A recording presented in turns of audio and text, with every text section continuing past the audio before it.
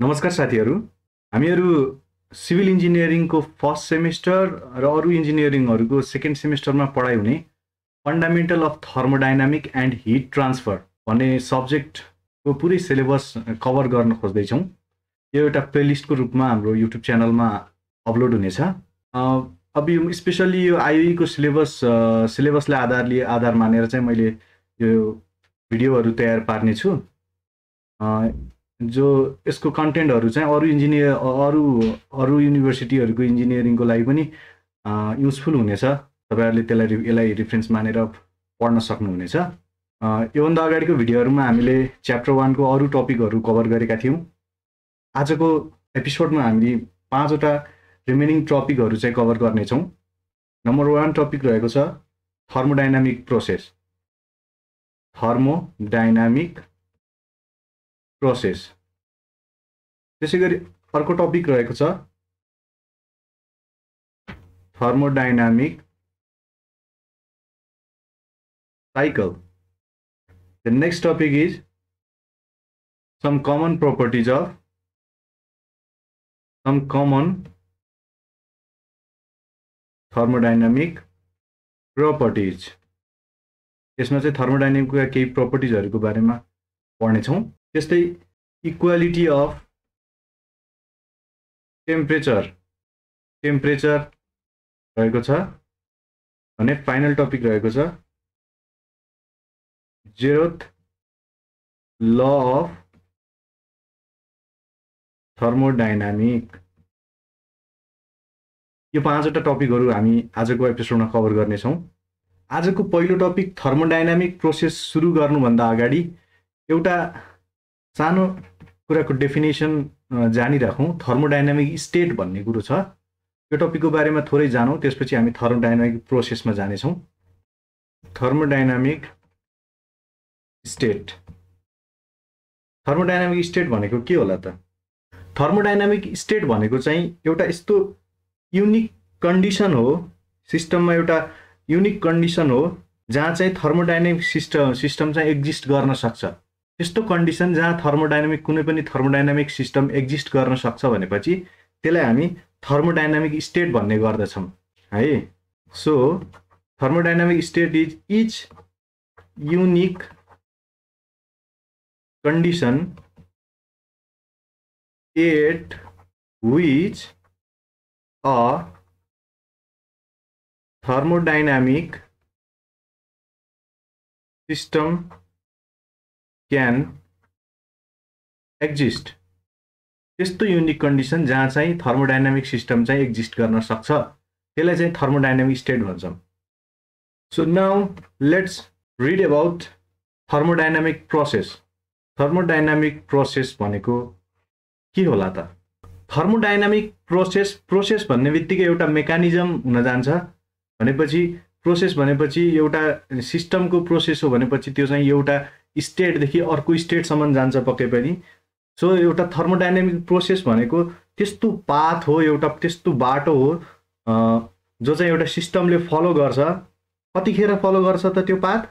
जब चाहिँ एउटा इक्विलिब्रियम स्टेटदेखि अर्को इक्विलिब्रियम स्टेटमा ट्राभल गर्नु पऱ्यो भने चाहिँ थर्मोडाइनामिक स्टे प्रो एउटा थर्मोडाइनामिक सिस्टमले फलो गर्ने पाथलाई चाहिँ हामी थर्मोडाइनामिक प्रोसेस भन्छौँ है त?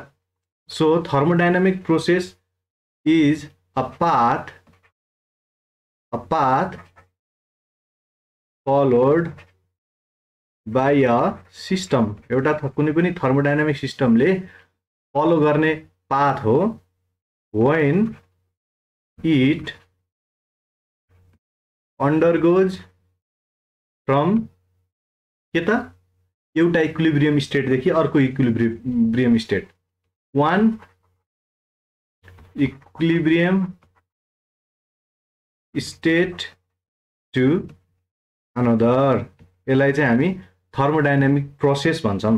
सो अब कुनै पनि सिस्टम एउटा एउटा इक्विलिब्रियम स्टेटदेखि अर्को इक्विलिब्रियम स्टेटमा जाने बेलामा चाहिँ बिचमा इन्टरमिडिएट स्टेटहरू पनि पक्कै हुन्छन्। यत्तिकै एउटा एउटा इक्विलिब्रियम स्टेटदेखि अर्को इक्विलिब्रियम स्टेटमा त्यो प्रोसेसले त जम्प गर्दैन त्यो सिस्टमले जम्प गर्ने होइन। बिचको त्यो बाटो बाटो त्यो बाटो बाटो फलो गर्दाखेरि त पक्कै पनि बिचमा इन्टरमिडिएट स्टेट्सहरू थुप्रै आउने गर्छन्। सो यो इन्टरमिडिएट स्टेटहरूको रिफरेन्समा चाहिँ थर्मोडाइनामिक प्रोसेसहरूलाई चाहिँ दुई प्रकारमा चाहिँ विभाजन गरिएको हुन्छ क्लासिफाई गरिएको हुन्छ। के के त? रिभर्सिबल एन्ड इरिभर्सिबल प्रोसेस भनेर दुईवटा दुईवटा प्र प्रकारको प्रोसेसहरूमा चाहिँ क्लासिफिकेसन गरिएको हुन्छ। So with reference to the intermediate states thermodynamic processes can be classified as के reversible process अर्को? इरिभर्सिबल प्रोसेस अब यो रिभर्सिबल र इरिभर्सिबल प्रोसेसको बारेमा थोरै कुराहरू बुझौँ। यहाँ चाहिँ म रिभर्सिबल र इरिभर्सिबल प्रोसेसलाई चाहिँ डिफ्रेन्स बिट्विनको रूपमा एउटा टेबलमा देखाउँछु। इक्जामहरूमा पनि प्राय यसको डिफ्रेन्सहरू लेख भनेर सोधेको हुन्छ सोधे पनि। तपाईँहरूलाई यदि यसको बारेमा डिटेल डिटेल बुझ्न छ भनेपछि चाहिँ कमेन्ट गर्नु होला म यसको डिटेल भिडियो पनि बनाउने नै छु। अहिलेलाई चाहिँ यो डिफ्रेन्स बिट्विनबाट चाहिँ तपाईँहरू बुझ्ने कोसिस गर्नुहोस्। टेबलमा तपाईँहरू हेर्न सक्नुहुन्छ यहाँ मैले रिभर्सिबल प्रोसेस एउटा कलममा राखेको छु। अर्कोमा इरिभर्सिबल प्रोसेस भनेर राखेको छु। सो अब रिभर्सिबल प्रोसेसको पहिलो डिफ्रेन्स के लेख्न सक्छौँ त हामी रिभर्सिबल प्रोसेसमा के लेख्न सक्छौँ भन्दाखेरि यो रिभर्सिबल प्रोसेसहरू चाहिँ एउटा एउटा सिरिज अफ इन्टरमिडिएट स्टेटहरू यो यो रिभर्सिबल प्रोसेस हुनेलाई चाहिँ इन्टरमिडिएट स्टे स्टेटहरूको सिरिज सिरिजहरू पार गरेर चाहिँ जान्छ यसले होइन? जसलाई चाहिँ हामीले प्रोपर्टी डायग्राममा पनि देखाउन सक्छौँ। सो त्यही चिज हामी आफ्नो ल्याङ्ग्वेजमा लेखौँ है त। त्यस्तो process any process which passes through a series of series of के intermediate states. Intermediate states. जसलाई चाहिँ हामीले केमा के गरेर केमा डिफाइन गर्न सक्छौँ केमा लोकेट गर्न सक्छौँ प्रोपर्टी डायग्राममा है? Intermediate state that can be defined and located on a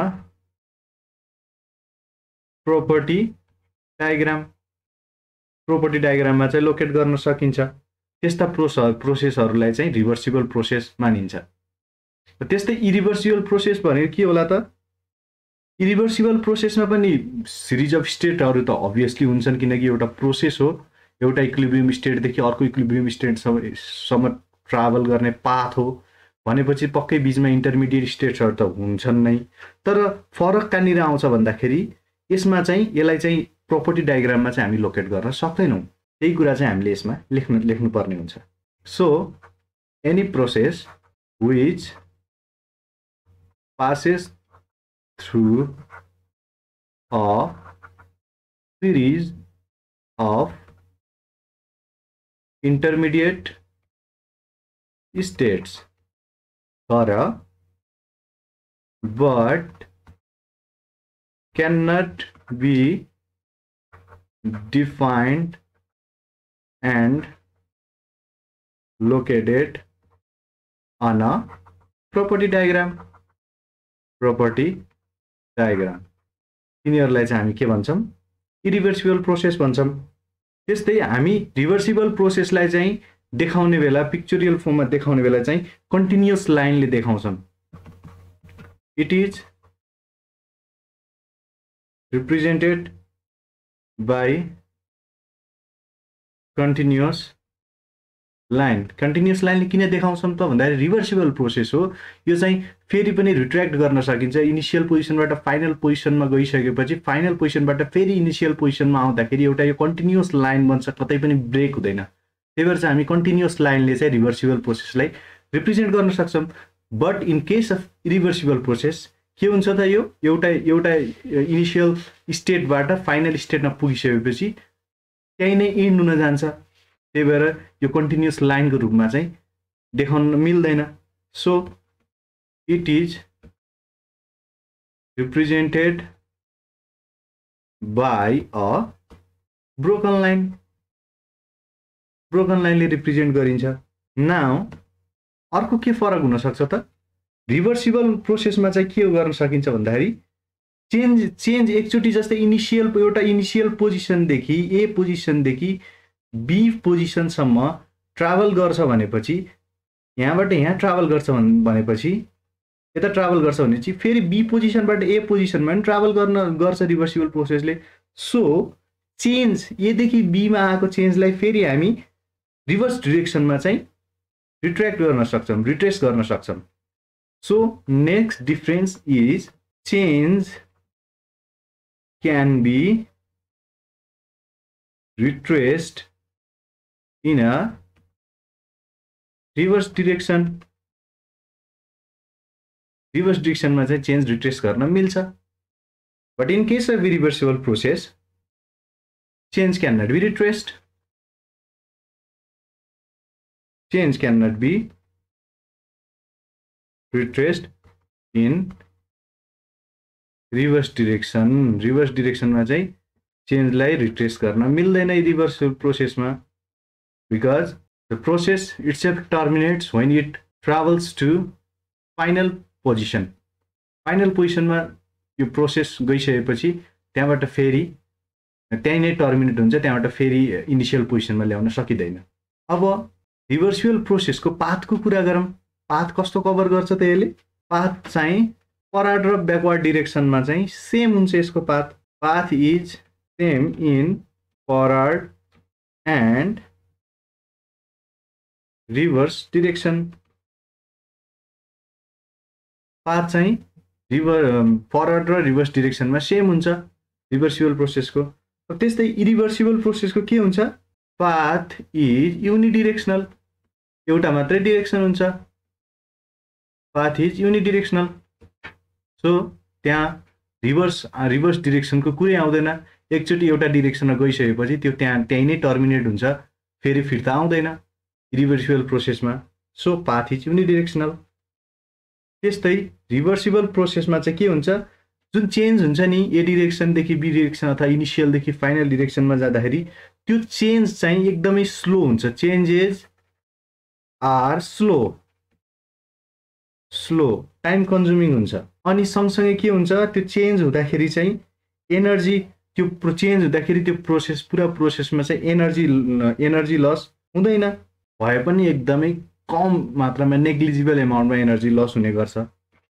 Changes are slow and there is no loss of any energy in the process अब त्यस्तै इरिभर्सिबल प्रोसेसमा के हुन्छ होला त? इरिभर्सिबल प्रोसेसमा चाहिँ चेन्जेस आर फास्ट झ्याप्पै हुन्छ। इरिभर्सिबल प्रोसेसहरूले हरू हुन खासै टाइमै लाग्दैन। चेन्जेस आर फास्ट एकदमै फास्ट हुन्छ। अनि त्यहाँ एनर्जी लस पनि पर्मानेन्ट हुन्छ। And loss of energy is permanent किन किन पर्मानेन्ट हुन्छ त? ड्यु टु फ्रिक्सन धेरै फ्रिक्सनको कारणले र अन्य डिसिपेटिभ फोर्सका कारणले। डिसिपेटिभ फोर्स भनेको एनर्जी लस लस हुने डिसिपेसन हुने त्यस्ता फोर्सेसहरूको कारणले चाहिँ के हुन्छ? एनर्जी लस चाहिँ पर्मानेन्ट हुन जान्छ। अनि त्यस्तै यो रिभर्सिबल प्रोसेसहरू चाहिँ एकदमै आइडल प्रोसेसहरू हुन्। यिनीहरू प्र्याक्टिकल प्र्याक्टिकल्ली एकदमै इम्पोसिबल हुने हुने गर्छन्। So they are ideal process they are not practical practical लाइफमा यिनीहरू फिजिबल छैनन् अनि irreversible process are real and practical process है यो भयो यसको मेजर डिफ्रेन्सेसहरू अब यसको बारेमा डिटेल भिडियो चाहिन्छ भनेपछि कमेन्ट गर्नु होला हामी त्यो पनि प्रोभाइड गर्ने नै छौँ। अहिले चाहिँ हामीलाई चाहिँ यो सिलेबस सिलेबस पुरा गर्नुपर्ने भएको कारणले एउटै टपिकलाई धेरै एक्सप्लेन गर्दाखेरि एकदमै टाइम कन्ज्युमिङ हुन्छ। तपाईँहरूलाई पनि भिडियो हेर्न ज्याउ लाग्ने हुन्छ। तपाईँहरूलाई बरु छुट्टै भिडियो चाहिन्छ भनेपछि हामी छुट्टै प्रोभाइड गर्ने नै छौँ।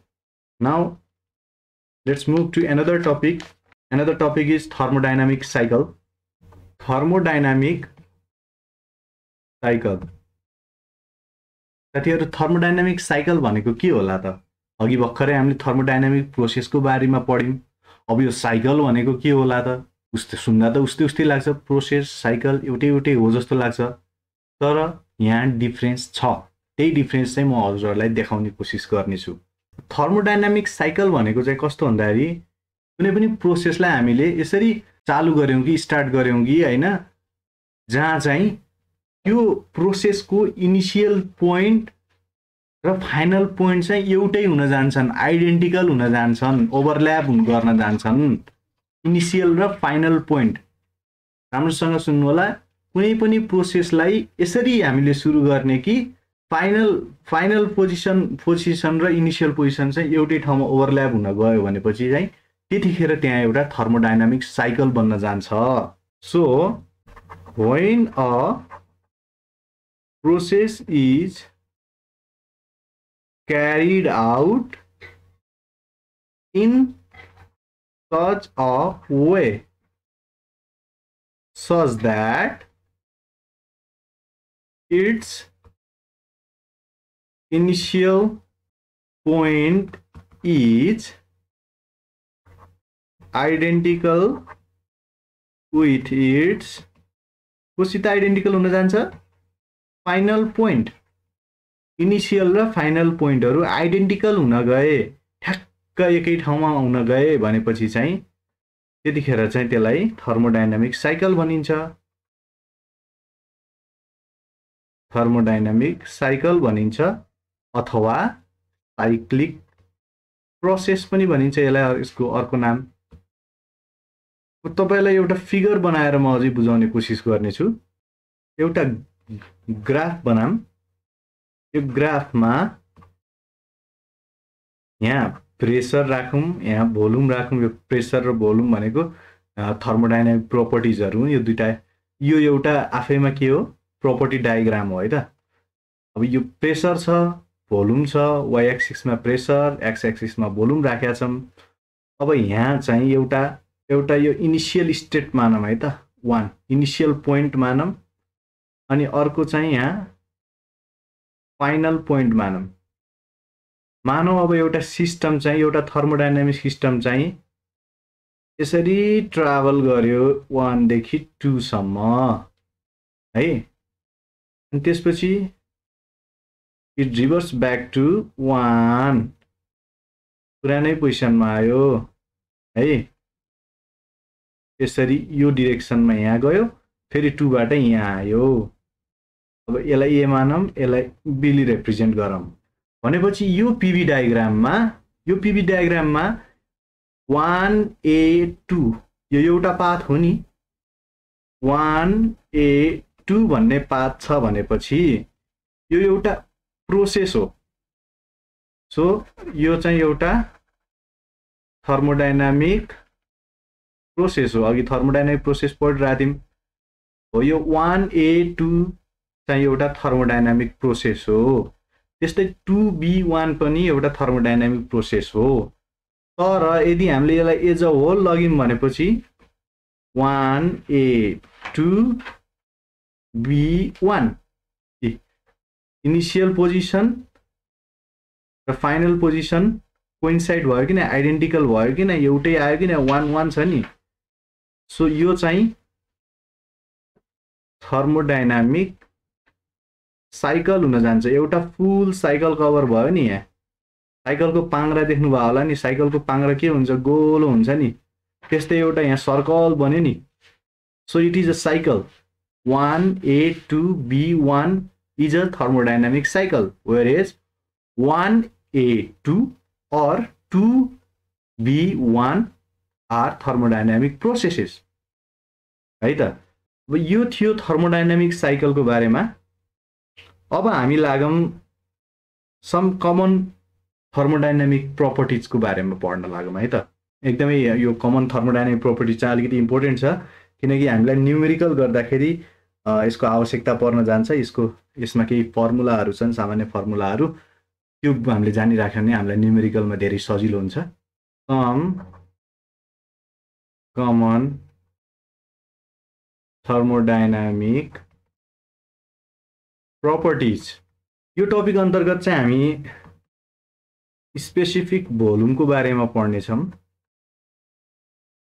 त्यस्तै प्रेसरको बारेमा पढ्नेछौँ। त्यस्तै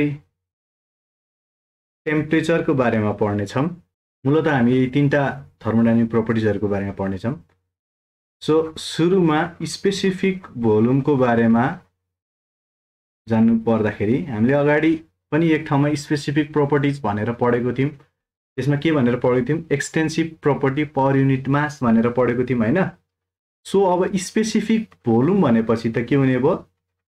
Volume per unit mass of any substance कुनै पनि सब्सटेन्सको भोल्युमलाई मासले डिभाइड गर्यो भने त्यो चाहिँ स्पेसिफिक भोल्युम हुन जान्छ। त्यो भनेको के हो त? स्पेसिफिक भोल्युम भनेको हामीलाई के थाहा थियो स्पेसिफिक प्रपर्टिजहरूलाई हामीले स्मल लेटरले रिप्रेजेन्ट गर्छौँ भनेपछि भोल्युमको स्पेसिफिक स्पेसिफिक भोल्युम चाहिँ हामी स्मल भीले रिप्रेजेन्ट गर्ने भयौँ भी बाई एम भयो। अब हामीलाई के थाहा थियो? अब यसको युनिट युनिट के होला त? भोल्युमको मिटर क्युब पर केजी हुन्छ। होइन? अब हामीलाई केजी पर मिटर क्युब अथवा मास बाई भोल्युम भनेको के हो भन्ने थाहा थियो? हामीलाई डेन्सिटी भन्ने थाहा थियो। मास बाई भोल्युम भनेको डेन्सिटी हो यहाँ भोल्युम बाई मास भनेको स्पेसिफिक भोल्युम भनेपछि यो चाहिँ के हो रहेछ? It is reciprocal of density होइन? डेन्सिटीको रिसिप्रोकलको रूपमा देखियो नि यो। र स्पेसिफिक भोल्युम चाहिँ डेन्सिटीको रिसिप्रोकल पनि रहेछ। यो यसलाई यसको बारेमा चाहिँ अहिलेलाई यति नै जाने हुन्छ किनकि हामीलाई न्युमेरिकलमा काम लाग्ने पनि यति नै हो। धेरै जानिराख्न पर्दैन यसको बारेमा धेरै जान्न छ भनेपछि मलाई अझै चाहियो सर। मलाई अझै जान्ने मन मन छ दाई भनेर कमेन्ट गर्नु। म तपाईँको लागि अलि विस्तृत भिडियो बनाइदिन्छु त्यसको लागि छुट्टै। है त? अब अहिलेलाई लागौँ प्रेसरतर्फ प्रेसर। प्रेसर भनेको के हो त? के होला प्रेसर भनेको?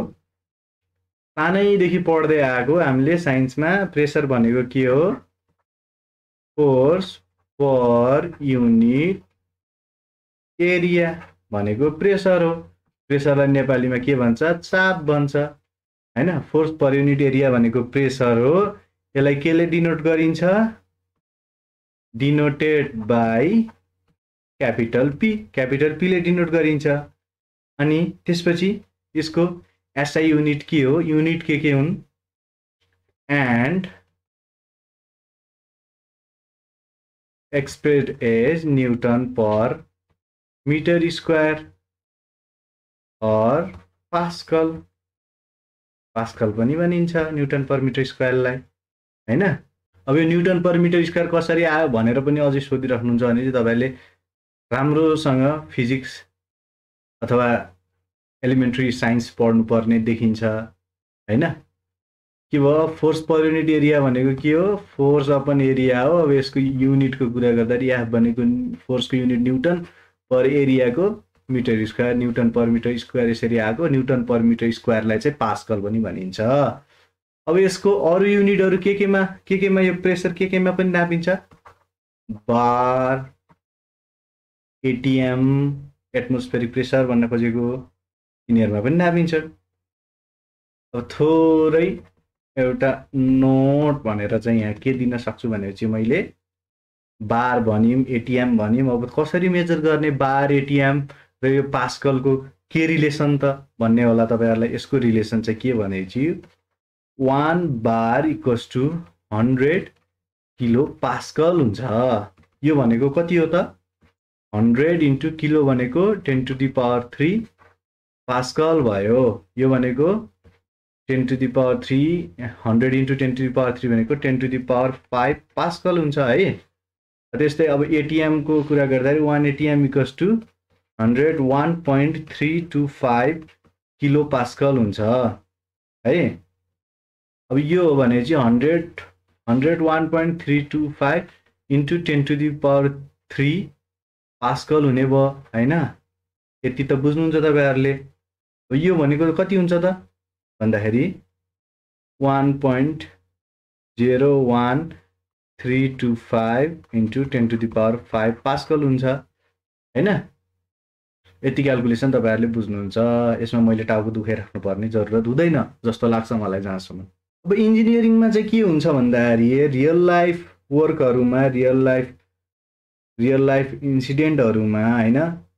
अब रियल लाइफ सिस्टमहरूमा अझ थर्मोडाइनामिक्स भनिसकेपछि त सिस्टमहरूको कुरा गरौँ रियल लाइफमा चाहिँ कस्तो हुन्छ भन्दाखेरि प्रेसरलाई चाहिँ हामीले चाहिँ जहिले प्रायः चाहिँ के गर्छौँ त भन्दाखेरि यो एटमोस्फियरको रेस्पेक्टमा चाहिँ हामीले चाहिँ के गर्छौँ प्रेसरलाई चाहिँ के गर्छौँ मेजर गर्छौँ। होइन? एटमोस्फियर किनकि हाम्रो त रियल लाइफ भन्ने बित्तिकै हाम्रो यो एटमोस्फियर हामी रियल लाइफ भनेको हामी यहाँ हावा छ हाम्रो पृथ्वीमा त होइन चारैतिर हावा छ एटमोस्फियर छ। भनेपछि हावा छ भनेपछि हामीले अब यो पर्फेक्ट भ्याकुमवाला कन्डिसन आइडल केस लाउन सक्दैनौँ। आइडल आइडल केस लाएर चाहिँ हामीले क्यालकुलेसन्सहरू गर्दाखेरि चाहिँ त्यहाँ चाहिँ फल्ट हुनसक्छ एक्सिडेन्ट हुनसक्ने सम्भावना हुन्छ। त्यसैले हामीले चाहिँ एटमोस्फियरलाई चाहिँ रेस्पेक्ट एटमोस्फियरको रेस्पेक्टमा चाहिँ क्यालकुलेसनहरू गर्नुपर्ने हुन्छ प्रेसरको कामहरू गर्नुपर्ने हुन्छ। सो हामीले चाहिँ एटमोस्फियरिक प्रेसरलाई पनि कन्सिडर गर्दै चाहिँ एब्सोल्युट प्रेसर निकालेर चाहिँ कामहरू गर्नुपर्ने हुन्छ है त? So P absolute absolute pressure निकाल्नु पर्ने हुन्छ। भनेको चाहिँ atmospheric pressure plus gauge pressure यो रिलेसन चाहिँ हामीले एकदमै इम्पोर्टेन्ट छ है न्युमेरिकलहरू गर्नुपर्दाखेरि यो चाहिँ दिमागमा बसालिहाल्नु। एब्सोल्युट प्रेसर भनेको एटमोस्फेरिक प्रेसर र गज प्रेसरको के हो? सम हो भनेर यति चाहिँ बुझ्नु पर्यो। यो चाहिँ हाम्रो इन इन्जिनियरिङ वर्क इन्जिनियरिङका हरेक कामहरूमा चाहिँ त्यसरी एब्सोल्युट प्रेसर निकाल्नु पर्ने हुन्छ। यत्तिकै हामीले नर्मल फोर्स अपन एरियावाला प्रेसर चाहिँ काम गर्दैन। त्यसरी एब्सोल्युट प्रेसर निकाल्नु पर्ने हुन्छ। है? अब एब्सोल्युट प्रेसर त भनिम् अब यहाँभित्र पनि एटमोस्फेरिक प्रेसर छ गज प्रेसर छ त्यसपछि एब्सोल्युट प्रेसर आफैमा के हो भनेर तपाईँहरूलाई कन्फ्युजन भएको हुनसक्छ। अब यहाँ चाहिँ एब्सोल्युट प्रेसर भनेको के हो भनेपछि सिस्टमको प्रेसर हो। एब्सोल्युट प्रेसर भनेको अरू केही होइन एउटा सिस्टमको प्रेसर हो। त्यसको रिलेटिभमा भन्दाखेरि पर्फेक्ट भ्याकुम यदि यहाँ एयर केही पनि भएन हाम्रो सराउन्डिङमा एयर नै भएन। त्यस्तो पर्फेक्ट भ्याकुममा चाहिँ के त? सिस्टमको प्रेसर जुन हुन्छ नि त्यसलाई चाहिँ एब्सोल्युट प्रेसर भन्छौँ सो पिएप्स भनेको absolute pressure is the pressure of system relative to perfect vacuum है? यो चाहिँ एब्सोल्युट प्रेसर भयो। अब त्यस्तै एटमोस्फेरिक प्रेसर भनेको के होला त? पिएटिएम भनेको एटमोस्फेरिक प्रेसर यो चाहिँ हाम्रो सराउन्डिङमा भएको एयरले एक्जर्ट गर्ने प्रेसर हो। The pressure exerted by ambient air अथवा surrounding air on any surface कुनै सर्फेसमा चाहिँ सराउन्डिङको एयरले चाहिँ एक्जर्ट गर्ने प्रेसर हो एटमोस्फेरिक प्रेसर भनेको। So P atm is the pressure exerted by ambient air on any surface त्यो चाहिँ पिएटिएम भयो। अब पिएटिएम पिए एब्सुलेट पिए एब्सुलुट एब्सुलुट प्रेसर क्यालकुलेसन गर्नलाई त माथि हामीले फर्मुला लेखिसक्यौँ होइन? यो त फर्मुला आइसक्यो। अब पिएटिएम चाहिँ कसरी कसरी क्यालकुलेट गर्ने भनेर तपाईँहरूलाई टेन्सन होला होइन? कसरी क्यालकुलेट गर्नु पर्ला त पिएटिएम भनेको पिएटिएमको लागि हामीसँग फर्मुला छ। रो जी जेट ब्यारो है? Rho g z bar. यो चाहिँ एटमोस्फेरिक प्रेसर निकाल्ने फर्मुला हो। है? अब यहाँ चाहिँ रो भनेको के होला त? रो भनेको के होला? सोच्नु होला होइन रो भनेको केही होइन। तपाईँहरूलाई थाहा भएको कुरो डेन्सिटी अफ मर्करी अब यो मर्करी कहाँबाट आयो सोच्नु होला? मर्करी कहाँबाट आयो भनेपछि हाम्रो एटमोस्फेरिक प्रेसर चाहिँ हामीले ब्यारोमिटर युज गरेर नाप्छौँ। ब्यारोमिटर भनेको डिभाइस हो। अब त्यो डिभाइस डिभाइसभित्र चाहिँ मर्करी युज भएको हुन्छ। मर्करी भन्ने लिक्विड युज भएको हुन्छ। है मर्करी चाहिँ मर्करी युज भएको हुन्छ ब्यारोमिटरभित्र एटमोस्फेरिक प्रेसर नाप्नको लागि होइन। यो मर्करी यस्तो यस्तो हुन्छ यसको होइन यस्तो कोलम हुन्छ एउटा। यहाँभित्र मर्करी हुन्छ। अनि तपाईँको एटमोस्फेरिक प्रेसर नाप्ने बेला चाहिँ मर्करी चाहिँ राइज हुन्छ कि? मर्करीको मर्करीले जति हाइट हाइट देखाउँछ सो गर्छ। अनि त्यो त्यसको आधारमा चाहिँ मर्करी के अरे हाम्रो एटमोस्फेरिक प्रेसर निकाल्ने काम हुन्छ। अब हाम्रो जी भनेको सबैलाई थाहा भएको कुरो एक्सलरेसन ड्यु टु ग्राभिटी हो। होइन? रो यो यो टिएटिएमको फर्मुला कहाँबाट आयो भनेर तपाईँहरूलाई कन्फ्युजन छ भनेपछि होइन? कहाँबाट आयो भनेर कन्फ्युजन छ भनेपछि म तपाईँहरूलाई त्यो पनि देखाउन सक्छु। हामीलाई के थाहा छ? प्रेसर भनेको फोर्स अपन एरिया भन्ने थाहा छ नि होइन? प्रेसर भनेको फोर्स अपन एरिया भनेको थाहा छ होइन? अब ब्यारोमिटर ब्यारोमिटरमा यसरी राखिएको हुन्छ यहाँभित्र मर्करी लिक्विड हुन्छ भनेपछि पक्कै पनि यो ग्राभिटीको इन्फ्लुएन्समा आउँछ। भनेपछि ग्राभिटीको इन्फ्लुएन्स भनेपछि फोर्स भनेको के हुन्छ? एमजी हुन्छ कि नै? होइन? फोर्स भनेको एमजी हुन्छ तपाईँलाई थाहा भएको कुरो यानि एरिया छ। होइन? अब यो छ। अब यदि हामीले अब यो यो यो चाहिँ मानौ यो चाहिँ जेट ब्यार हो ब्यारो मतलब जेट ब्यार हो यहाँभित्र मर्करले चाहिँ एक देखाउने सो गरेको हाइट हो भनेपछि ल मानौँ हामीले यहाँ चाहिँ ब्यारोमिटरको हाइटले चाहिँ मल्टिप्लाई गरिदिउँ। भनेपछि के हुन्छ?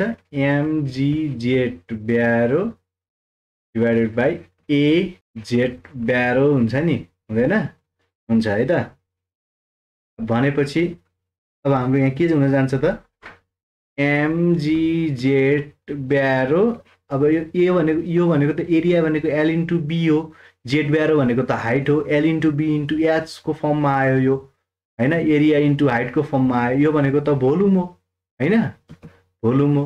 अब M by V G Z ब्यारो यसलाई यसरी लेख्न मिल्यो। एम बाई भी भनेको मास अपन भोलुम भनेको के हो? डेन्सिटी हो कि नै? होइन? डेन्सिटी हो नि density of mercury G Z ब्यारो यसरी चाहिँ एटमोस्फेरिक प्रेसर आएको हो। है त? यो भयो एटमोस्फेरिक प्रेसर अब हामीलाई के चाहियो? गज प्रेसर गज प्रेसरको बारेमा थाहा हुनु पर्यो। गज प्रेसर भनेको के हो भन्दाखेरि गज प्रेसर भनेको के हो त? कुनै पनि सिस्टमको प्रेसर हो जो चाहिँ एटमोस्फेरिक प्रेसरको रेफरेन्समा चाहिँ मेजर गरिन्छ। If pressure of any system is measured with reference to atmospheric pressure that is called gauge pressure so gauge pressure is pressure of any system कुनै पनि सिस्टमको pressure measured with reference to atmospheric pressure त्यो चाहिँ gauge pressure हुन जान्छ। अब हाम्रो गज प्रेसर चाहिँ हामी चाहिँ के हुन्छ भन्दाखेरि pressure gauge or manometer use गरेर मेजर गरिन्छ। अब यसले पनि रिडिङ दिने पास्कल अथवा बारमा रिडिङ दिन्छ है यो प्रेसर गज अथवा म्यानोमिटरले पनि। यो गज प्रेसर पनि लगभग ब्यारोमिटर जस्तै नै हुन्छ तर यसमा पनि यसमा पनि त्यस्तै उता मर्करी युज भएको जस्तै यसमा पनि त्यस्तै खाले फ्लुइडहरू युज हुन्छ जस्तै अल्कोहल युज हुन्छ मर्करी नै युज पनि हुन्छ होइन? अब त्यो त्यसलाई चाहिँ त्यो फ्लुइडको हाइट हाइटको आधारमा चाहिँ होइन? हामीले चाहिँ यसको गज प्रेसर चाहिँ मेजर गर्छौँ। सो त्यो हाइट चाहिँ जेट म्यानोले रिप्रेजेन्ट गर्छ। त्यसैले गज प्रेसर पनि हाम्रो एटमोस्फेरिक प्रेसर जस्तै रो जी जेट म्यानो यो फर्मुला युज हुन्छ। जहाँ चाहिँ रो भनेको डेन्सिटी अफ म्यानोमेट्रिक फ्लुइड अनि जी भनेको चाहिँ एक्सलरेसन ड्यु टु ग्राभिटी भइहाल्यो। अब यसरी चाहिँ हाम्रो एब्सोल्युट प्रेसर अब हामीले सजिलै निकाल्न सक्छौँ होइन? अब एउटा हामीले यहाँ चाहिँ एउटा नोट भनेर एउटा कुरा जानिराख्नुपर्ने हुन्छ होइन? यो पनि न्युमेरिकलमै काम लाग्ने चिज हो। यहाँ अब आजको क्लासमा लगभग मैले पढाएको सबै कुराहरू लगभग न्युमेरिकलमा युज हुने कुराहरू हुन्। अब कहिलेकाहीँ चाहिँ एउटा कन्डिसन कस्तो आउन सक्छ भन्दाखेरि कहिलेकाहीँ चाहिँ कुनै पनि सिस्टमको प्रेसर चाहिँ एटमोस्फेरिक प्रेसरभन्दा कम भइदिन्छ। त्यस्तो अवस्थामा चाहिँ के हुन्छ भन्दाखेरि गज प्रेसर चाहिँ नेगेटिभ हुन जान्छ है? Sometimes pressure of of system may be less than atmospheric pressure then त्यस्तो अवस्था के हुन्छ? Gauge pressure becomes negative negative हुनु जान्छ। This kind of gauge pressure चाहिँ यिनीहरूलाई चाहिँ के भनिन्छ भन्दाखेरि? भ्याक्युम प्रेसर अथवा भ्याक्युम गज भनेर टर्म गरिन्छ टर्म दिएको हुन्छ होइन? यति कुरा हो। यसमा खासै धेरै ठुलो कुरा केही छैन। अब लागौँ टेम्परेचरतर्फ टेम्परेचर भनेको के होला त? यो पनि एकदमै सजिलो कुरो हो। एलिमेन्ट्री साइन्सदेखि नै पढ्दै आएको कुरो होइन। Degree of hotness or coldness of a system कुनै पनि सिस्टमको हटनेस अर कोल्डनेसको डिग्री हो होइन? यसले चाहिँ के गर्छ त कुनै पनि सिस्टमको चाहिँ डिरेक्सन र हिट हिट ट्रान्सफरको डिरेक्सन र म्याग्नेच्युड चाहिँ रिप्रेजेन्ट गर्छ। होइन so it is a property of a system which defines the direction and magnitude of heat transfer heat कतातिर ट्रान्सफर भइरहेछ कति म्याग्नेच्युडमा ट्रान्सफर भइरहेछ भनेर डिफाइन गर्ने काम गर्छ टेम्परेचरले। अब सबैले थाहा भएको कुरो टेम्परेचर चाहिँ केले मेजर गर्छन्? थर्मोमिटरले। थर्मोमिटरले मेजर गर्छन् भन्ने कुरा थाहा नै छ। थर्मोमिटरमा कमन स्केलहरू के के छन् त? त्यो पनि थाहा भएकै कुरो कमन स्केल्स स्ट्यान्डर्ड स्केल्सहरू के के छन्? Degree Celsius degree Fahrenheit and Kelvin. होइन? केल्भिन यो तिनवटा तिनवटा कमनली युज हुन्छ भनेर हामी सबैलाई थाहा भएकै कुरो हो। अब टेम्परे अब केल्भिन स्केलमा कुनै पनि टेम्परेचर रिप्रेजेन्ट गरिन्छ भने चाहिँ त्यसलाई चाहिँ एब्सोल्युट टेम्परेचर भनिन्छ भन्ने कुरो पनि हामीले थाहा पाएकै कुरो हो।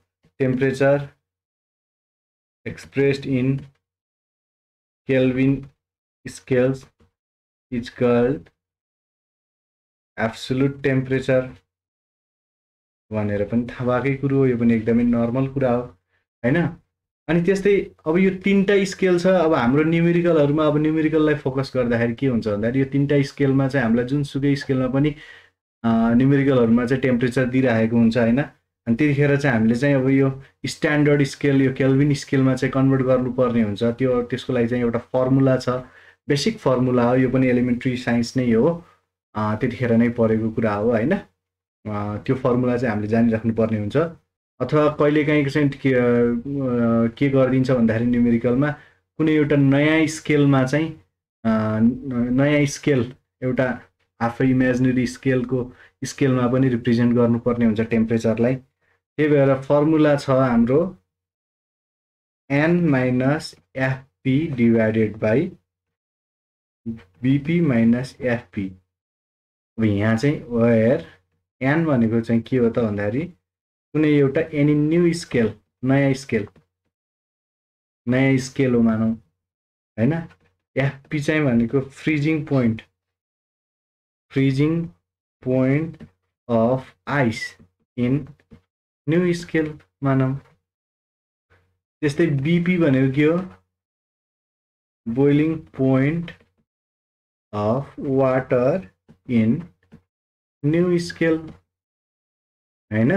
यस्तो हो भनेपछि अब यो त न्यू स्केलको लागि भयो। अब त कन्भर्जनको कुरा छ भनेपछि अब मानव डिग्री सेल्सियस स्केलमा के हुने भयो त हाम्रो? यहाँ न्यु स्केल भए जस्तै हाम्रो डिग्री सेल्सियस स्केलमा त सी हुन्छ क्यारे होइन? Minus freezing point of ice in degree Celsius scale के हो त? जिरो डिग्री सेल्सियस हो थाहा भएकै कुरो हो होइन? अनि त्यस्तै बोइलिङ पोइन्ट चाहिँ के हो त? आइसको सेल्सियस स्केलमा के हो बोइलिङ पोइन्ट हन्ड्रेड हो। माइनस फ्रिजिङ पोइन्ट त जिरो हो थाहा नै भएको कुरो हो। त्यस्तै फरेनाइट स्केलमा चाहिँ के हुन्छ त? भन्दाखेरि एफ हुन्छ। स्केल त एफ हो फरेनाइटमा माइनस त्यस्तै फ्रिजिङ पोइन्ट के हो त? फरेनाइट स्केलमा आइसको थर्टी टू हो। भनेपछि बोइलिङ पोइन्ट हन्ड्रेड टुवेल्भ हो माइनस थर्टी टू भयो अब त्यस्तै गरेर केल्भिन स्केलमा के minus two hundred seventy three freezing point boiling point three hundred seventy three minus two hundred seventy three यो हुन्छ होइन। यसलाई चाहिँ करेस्पोन्ड के हुन जान्छ त भन्दाखेरि N minus FP divided by BP minus FP equals to c minus 0 divided by 100 minus f minus 32 divided by के हुन्छ F minus thirty two divide by hundred twelve minus thirty two भनेको के हो कति हुन्छ वान एट्टी हो त्यस्तै के minus two hundred seventy three divided by कति हुन्छ हन्ड्रेड यो एउटा फर्मुला हामीले याद गर्नुपर्ने हुन्छ। स्केल कन्भर्जनको लागि। यति जानु भनेपछि टेम्परेचर पनि सकियो। टेम्परेचरको बारेमा न्युमेरिकललाई चाहिने चिजहरू पनि सकिए। अब यही कुरालाई हामीले डिस्क्राइब गरेर चाहिँ कहिलेकाहीँ सर्ट नोटमा आयो भने पनि लेख्न सक्छौँ होइन यति कुरालाई। अब लागौँ अर्को टपिकतर्फ इक्वालिटी अफ टेम्परेचर यो त इक्वालिटी अफ टेम्परेचर अब यसको नामले नै सजेस्ट गरेर चाहिँ इक्वालिटी अफ टेम्परेचर भनेको। कुनै पनि सि दुईवटा दुईवटा सिस्टमहरूको टेम्परेचर इक्वेल हुने कन्डिसन हो भनेर हामीले बुझ्न सक्छौँ यत्तिकै नामबाट नै। सो कुनै पनि दुईवटा सिस्टमलाई सिस्टमसँग चाहिँ सिस्टमको चाहिँ इक्वल टेम्परेचर कब हुन्छ त भन्दाखेरि यदि त्यहाँ कुनै पनि त्यो सिस्टमको त्यो दुईवटा सिस्टमलाई चाहिँ एक आपसमा सँगै ल्याउँदाखेरि दुइटालाई कन्ट्याक्टमा ल्याउँदाखेरि त्यहाँ चाहिँ कुनै पनि प्रकारको प्रोपर्टिजमा चाहिँ चेन्जेस आएन भनेपछि चाहिँ तिनीहरू दुइटा चाहिँ इक्वालिटी अफ टेम्परेचर कन्डिसनमा छन् छन् भन्ने बुझ्नुपर्छ हामीले है? मानौ यो दुइटा इन्डिभिजुअल सिस्टम छ ए सिस्टम छ बी सिस्टम छ। जब हामीले ए र बी सिस्टमलाई चाहिँ सँगै कन्ट्याक्टमा ल्याउँछौँ अनि they are kept in contact with each other त्यतिखेर यिनीहरूको थर्मोडाइनामिक कुन त्यतिखेर यिनीहरूको प्रोपर्टिजहरू थर्मोडाइनामिक प्रोपर्टिजहरूमा चाहिँ के त?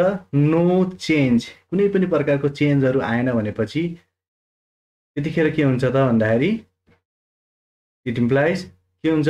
इक्वल टेम्परेचर हुन्छ यिनीहरूको। दुइटाको इक्वल टेम्परेचर छ भन्ने बुझ्नुपर्छ हामीले है त? सो यसको डेफिनेसन लेख्दाखेरि के हुन्छ त? Two systems are set to have equal temperatures. कतिखेर हुन्छ त?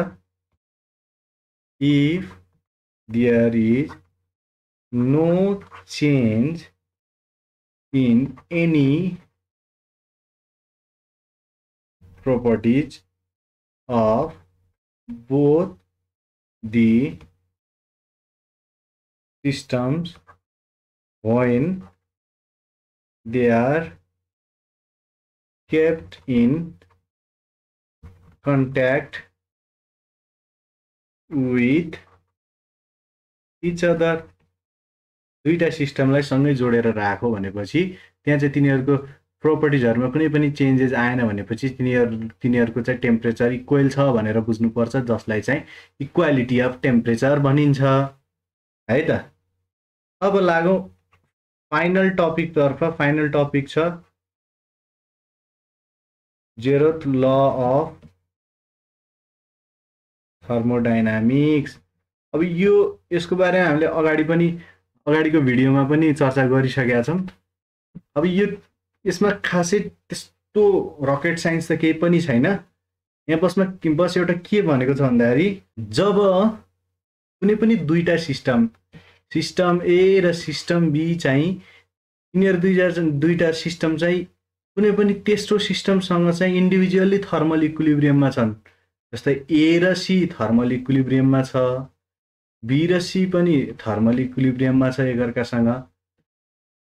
भनेको thermal equi equilibrium thermal equilibrium यसरी दुईवटा सिस्टम चाहिँ इन्डिभिजुअल्ली कुनै तेस्रो सिस्टमसँग थर्मल इक्विलिब्रियममा छ भनेपछि त्यस्तो कन्डिसनमा चाहिँ यो ए र बी पनि अभियसली अटोमेटिकल्ली एकअर्कासँग थर्मल इक्विलिब्रियममा हुन जान्छ भनेर भन्छ यो लले। यति कुरा हो। सो अब यसलाई पनि डेफिनेसन फेरि पनि लेखिराख्दैन। मैले अगाडि पनि लेख लेखिदिइसकेको छु definition so zero law of थर्मोडाइनामिक्सले के भन्छ भन्दाखेरि when two systems are separately in thermal equilibrium with a third system when two when when two systems are separately in thermal equilibrium with third system this one is third system. Then those two systems a and b are also in thermal equilibrium with each other. एकअर्कासँग thermal इक्विलिब्रियममा हुन जान्छन् भनेको छ होइन अब अब यहाँ एउटा नयाँ कुरा भनेको चाहिँ the application of the zeroth law of थर्मोडाइनामिक्सको कुरा म तपाईँहरूलाई भन्छु। Measurement of temperature temperature measure गर्नको लागि युज हुन्छ होइन जेनरल्ली टेम्परेचर मेजर गर्नुको लागि हुन्छ। र सँगसँगै टेम्परेचर कम मल्टिपल अब्जेक्टहरूको टेम्परेचर कम् कम्पेरिजन गर्नको लागि पनि युज हुन्छ। Temperature comparison of multiple objects यस्तो कुराहरूमा चाहिँ zero law of thermodynamics use गर्न सकिन्छ कमनली होइन? अब अरू पनि एप्लिकेसन त अभियसली हुन्छ नि एउटा यो एउटा सिङ्गल ल नै हो थर्मोडाइनामिक्सको भनेपछि। अरू एप्लिकेसनहरू पनि पक्कै हुन्छन्। अब एउटा सानो जाँदा जाँदै एउटा सानो टपिक छ यो पनि हामीलाई यो न्युमेरिकलहरूमा चाहिँ काम लाग्ने ट काम लाग्ने कुरो हो। यसलाई नोटको रूपमा लिनु होला होइन? के भन्दाखेरि स्प्रिङ फोर्स भन्ने छ। स्प्रिङ फोर्स भन्ने छ होइन? मान एउटा एउटा यो यहाँ यस्तो छ यहाँ एउटा स्प्रिङ छ यो एउटा स्प्रिङ हो भने जब हामीले चाहिँ यसमा चाहिँ यसमा यो पोइन्ट एमा सर्टेन मास राखेर सर्टेन मास राखेर पोइन्ट बीमा पुर्याइदियौँ भनेपछि अब यसले जुन यो डिस्टेन्स कभर गर्यो नि यसलाई चाहिँ एक्सले डिनोट गरौँ है भनेपछि अब यो यो स्प्रिङ छ नि यो स्प्रिङको चाहिँ स्प्रिङ कन्सटेन्ट के मानौँ। त्यतिखेर चाहिँ स्प्रिङ फोर्स चाहिँ स्प्रिङ फोर्स चाहिँ केले डिनोट गर्छ त? एफ स्प्रिङ भनेर डिनोट गरिन्छ। बराबर केएक्स हुन जान्छ। वेयर जहाँ चाहिँ के हुन्छ त? के भनेको स्प्रिङ कन्सटेन्ट होइन? के भनेको स्प्रिङ कन्सट्यान्ट हो? एक्स भनेको डिस्प्लेसमेन्ट हो स्प्रिङको डिस्प्लेसमेन्ट अफ स्प्रिङ यो पनि नर्मल कुरा नै हो यो पनि प्लस टूमा तपाईँले पढिसक्नु भएको एकचोटि रिभाइज मात्रै गराइदिएको हो मैले। यो चाहिँ स्प्रिङ फोर्स भयो अब यसरी चाहिँ हाम्रो च्याप्टर वानको लगभग सबै थ्योरी पोर्सनहरू सक्यौँ नेक्स्ट क्लासदेखि चाहिँ हामीले चाहिँ न्युमेरिकल पोर्सनमा फोकस गर्नेछौँ। मोडल क्वेसन्सहरू केही इम्पोर्टेन्ट मोडल क्वेसन्सहरू चाहिँ हामीहरू एटेम्प्ट गर्नेछौँ। So this much for today's class will meet again until then goodbye thank you